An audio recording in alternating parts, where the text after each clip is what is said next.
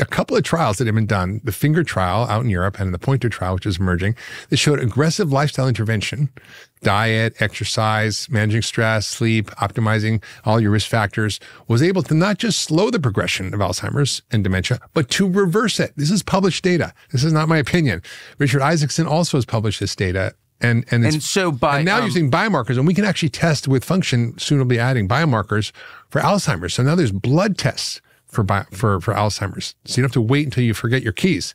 And also for cancer, you're asking about cancer. We do a multi-cancer. Wait, at what age is Alzheimer's detectable in a blood test? That's a great question. So on imaging, which is very expensive and difficult and not brain imaging. Yeah, brain imaging. You can see the changes up to 30 years before you get Alzheimer's as a symptom. With blood tests, it's it's not as as far as that. We're still figuring out, you know, what what those times are. But you can see start these proteins start to develop in the blood that that indicate there's something happening, and you can then intervene early. And the thing about Alzheimer's is is that it's if you intervene early, you can have an incredible benefit to help slow the progression and and delay it and actually reverse it.